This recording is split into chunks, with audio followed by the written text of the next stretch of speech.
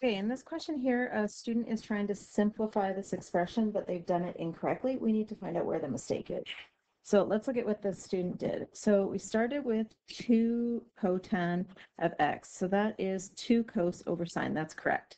And then we're dividing that by cosecant squared. Cosecant's the reciprocal of sine. So cosecant squared is the reciprocal of 1 over sine squared. That's also correct. And then since we're dividing by cos squared plus sine squared, that's the same as 1 over multiplying by 1 over cos squared plus sine squared. So I'd say step 1 is correct. So let's see what happens in step number 2. So in step number 2, they're breaking this fraction apart. So they have 2 cos over sine x.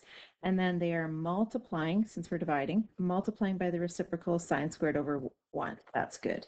And then over here, it looks like they simplified cos squared to be 1 plus sine squared. I think that's where their mistake is. If we look at Pythagorean identity number 1, I know that cos squared plus sine squared equals 1. So if I want to isolate for cos squared, I would subtract sine squared from both sides. And I would get that cos squared x is equal to 1 minus sine squared x, not 1 plus sine x. So this should be a minus. So that is incorrect. So I know that they made their mistake in step number 2. So B would be the correct answer.